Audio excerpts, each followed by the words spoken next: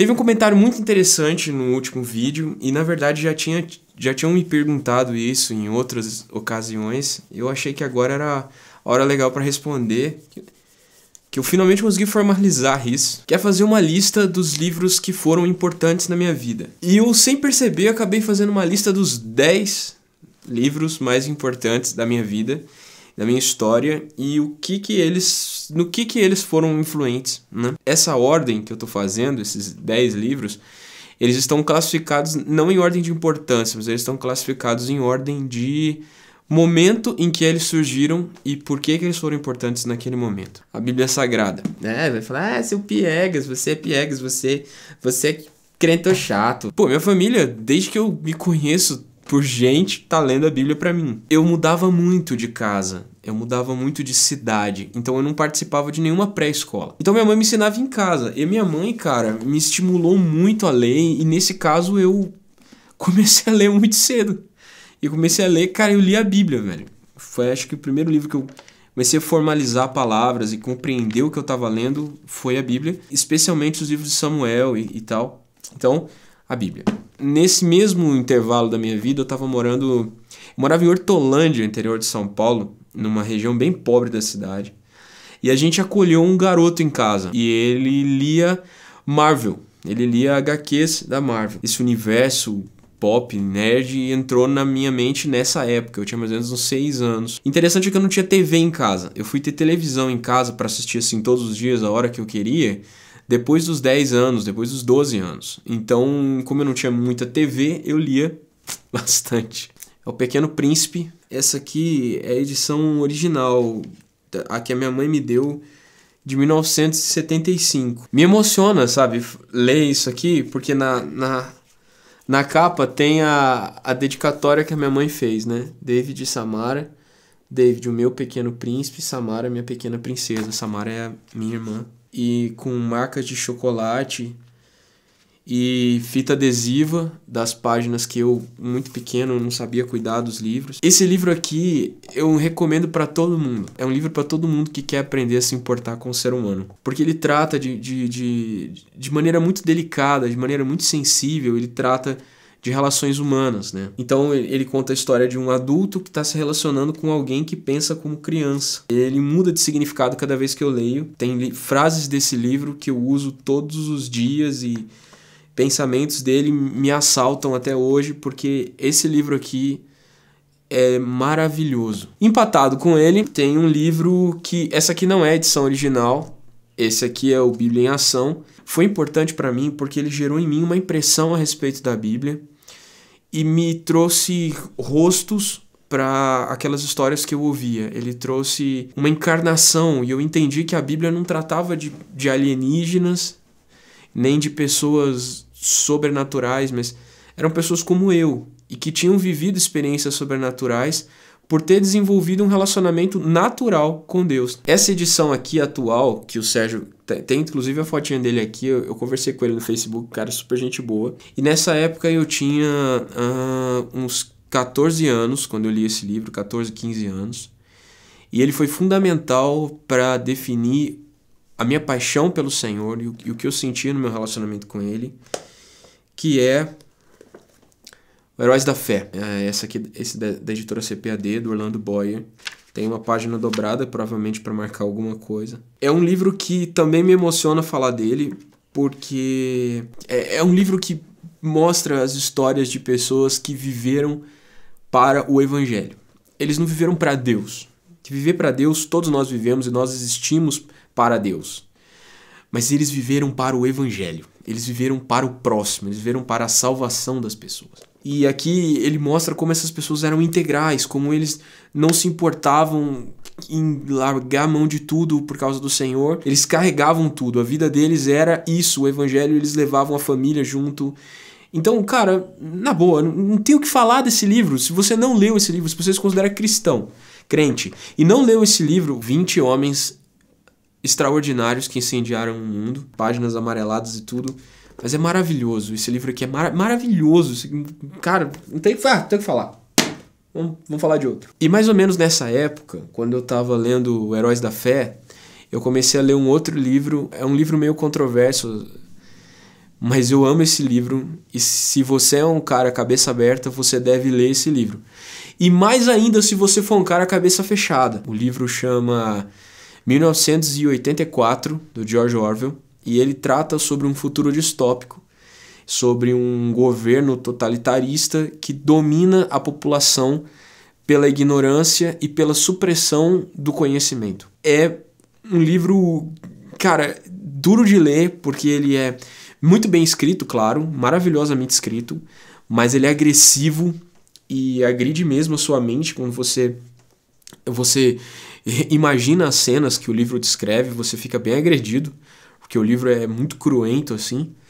Você você se, se conecta com o personagem e sente muito o que ele está sentindo. Ignorância é uma arma de controle. O, o governo que quer, que quer continuar, se perpetuar no poder, ele precisa manter a sua população ignorante. E se você acha que eu estou falando da presidente da república ou do governo né, do Brasil, não. Eu estou falando de todo tipo de governo que quer ser totalitarista. Se você, por exemplo, você está num ambiente de igreja e nesse ambiente de igreja você tem uma liderança castradora, uma liderança que, que te oprime, conhecimento é poder, raciocínio é poder. Você tem que deixar o seu, a sua mente aberta para compreender o, o ambiente que você vive.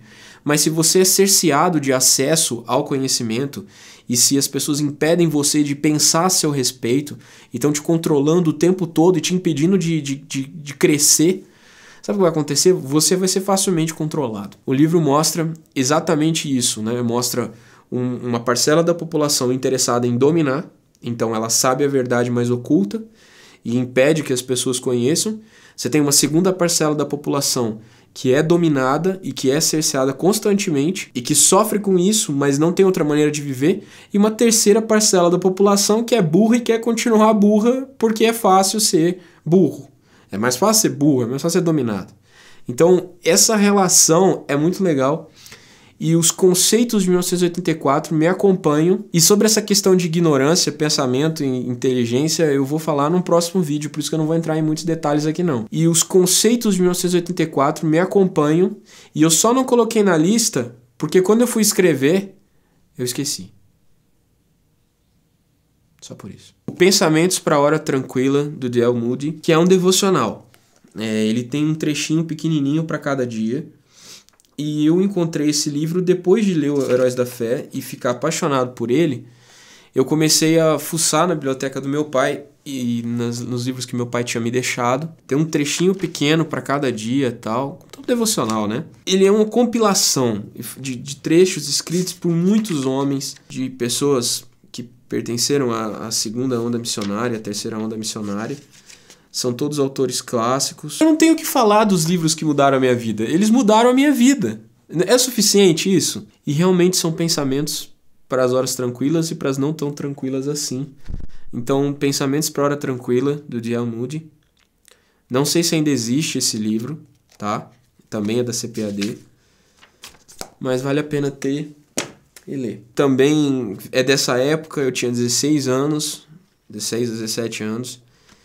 E eu era muito nervoso, irritado, brigava muito com a minha mãe. Eu ainda sou um cara irritado demais, brigo demais com as pessoas, mas ele me mostrou que o temperamento pode ser transformado. É o Temperamentos Transformados do Tim LaHaye. E ele fala sobre quatro personagens da Bíblia, seus a teoria dos quatro temperamentos. Cara, é um livro pra gente que quer amadurecer, certo? Ele fala sobre Pedro, Paulo, Moisés e Abraão. E fala sobre o temperamento dessas pessoas e como o temperamento delas foi transformado. E não só foi transformado, mas como que o temperamento deles se tornou útil para Deus.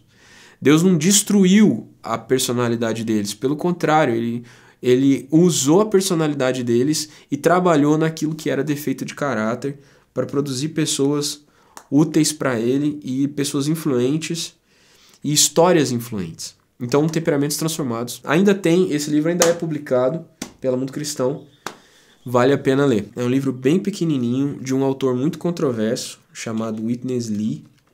Ele é controverso porque ele tem algumas visões a respeito de, de igreja que com as quais eu não concordo muito. Vendo na nossa ótica atual, elas são um pouco defasadas. Mas eu li esse livro também com 17 anos, ele é da editora Árvore da Vida. Mas esse livro dele é muito interessante e eu recomendo por causa da maneira como ele trata o nosso relacionamento pessoal com Deus. O título do livro é Tomar Cristo como Nosso Alimento. É, o título é autoexplicativo e ele explica a necessidade vital de relacionamento com Deus. E os conceitos que eu aprendi nesse livro eu uso até hoje, tanto nas mensagens que eu vou dar, quando eu vou falar em algum lugar. Ele fala sobre como o homem é e, as necessidades de alimentação que o homem tem no seu corpo, na sua alma e no seu espírito. Fala sobre o batismo do Espírito Santo.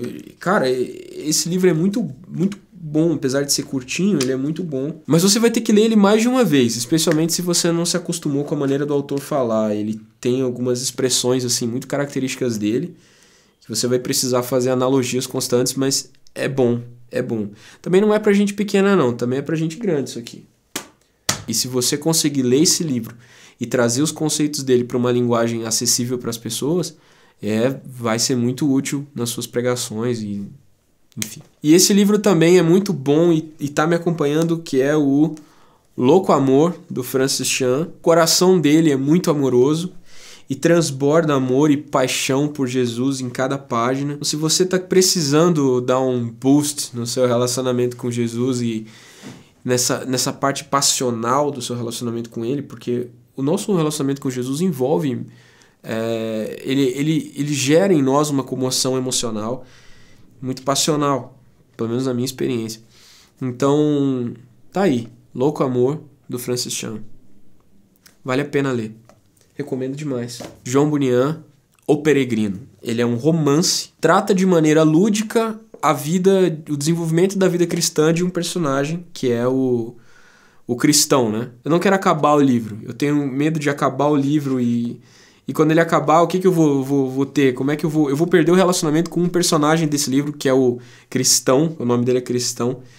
E eu adoro me relacionar com o cristão. Ele, é, ele é alguém que, que tá vivendo um processo que eu também estou vivendo. Então, leiam e se alguém acabar antes de mim, não me conta o final. E o livro número 10 que na verdade não é um livro, é uma série de devocionais que já existe há muito tempo e que eu leio todos os dias ou praticamente todos os dias e que me acompanha muito. Todo mundo que me vê, eu tô sempre com um desse na mão. É um livro que é um, uma das minhas fontes de relacionamento com Deus, uma das maneiras que eu tenho de, de aprofundar o conhecimento nas escrituras. É o Alimento Diário da editora Árvore da Vida também, do autor Dong Yulan. E como ele é produzido bimestralmente, então a gente tem, eu tenho inúmeros deles aqui, muitas capas diferentes. Algumas foi eu que fiz, inclusive. Ele faz a parte de conhecimento e de, de contextualização de cada trecho que é estudado, mas ele se preocupa muito em produzir comida para a sua parte espiritual. Então, lembra que eu falei tomar Cristo como nosso alimento? Então, esse livro ele é isso.